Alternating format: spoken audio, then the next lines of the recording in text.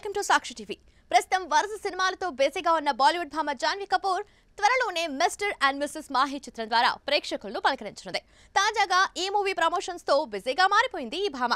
తాజాగా బుధవారం ఈ సినిమా నుంచి దేఖా తెను అనే ఫస్ట్ సింగిల్ రిలీజ్ చేశారు. ఈ సందర్భంగా ఓ ప్రెస్ మీట్లో పాల్గొన్న జాన్వీకి ఆసక్తికర ప్రశ్న ఎదురైంది. మిమ్మల్ని చేసుకునేవాడు ఎలా ఉండాలో చెప్పగలరా? అని అడిగారు. దీనికి జాన్వీ కపూర్ ఆసక్తికర సమాధానమిచ్చింది. నా కలలను తనవిగా భావించేవాడు నాకు అండగా నిలిచేవాడు. ఎప్పుడూ నాకు సంతోషాన్ని ఇచ్చేవాడు నవ్విస్తూ ఉండేవాడు నాకు కాబోయేవాడు కావాలని చెప్పింది. నేను ఏడ్చినప్పుడు నా పక్కనే ఉండి ధైర్యం చెప్పేవాడే ఉండాలంటూ తన మనసులోని మాటలను బయటపెట్టేస్తుంది ప్రస్తుతం దీనికి సంబంధించిన వీడియో నెట్టింట వైరల్గా మారింది. కాగా ఈ బాలీవుడ్ భామ తన స్నేహితుడు వ్యాపారవేత్త శిఖర్ పహారియాతో డేటింగ్లో ఉన్న సంగతి తెలిసిందే.